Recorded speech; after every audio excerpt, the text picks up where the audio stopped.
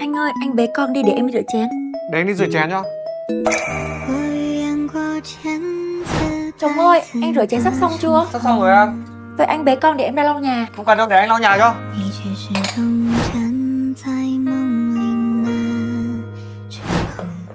Chồng ơi, anh lau sắp xong chưa? Anh sắp xong rồi. Anh bế con em ra lấy hàng. Anh ra lấy hàng cho. Cái gì vậy bà nội?